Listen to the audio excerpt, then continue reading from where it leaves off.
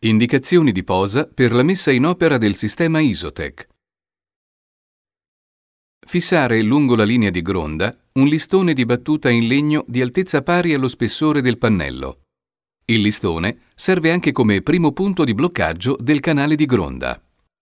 È necessario interporre uno strato isolante di guaina butilica tra il correntino e la gronda. Refilare il pannello sul lato longitudinale in relazione al tipo di tegola utilizzata, oppure utilizzare l'apposito pannello a passo ridotto.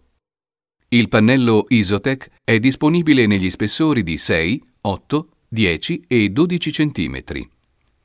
Fissare il pannello con viti autofilettanti se la struttura portante è in ferro, con tasselli ad espansione per struttura in latero cemento e con tirafondi su strutture in legno. Distanziare i fissaggi di circa un metro tra loro. È importante che i fissaggi siano sempre effettuati nella parte posteriore piana del correntino metallico. Sigillare i giunti laterali dei pannelli sagomati a coda di rondine con silicone monocomponente prima del loro accostamento all'incastro. Una volta posato e fissato il pannello, procedere all'impermeabilizzazione del giunto con l'apposita guaina di alluminio butilico. Proseguire con la seconda fila partendo con un primo pannello a passo intero e accorciandolo per ridurne la lunghezza, in maniera tale che i giunti laterali risultino sfalsati rispetto alla prima fila.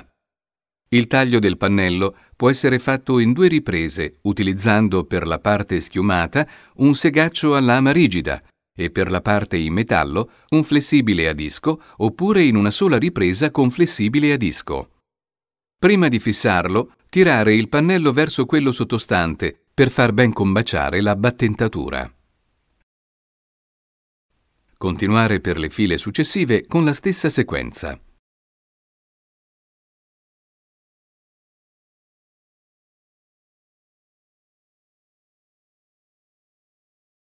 Riutilizzare le porzioni di pannello tagliate per la fila successiva.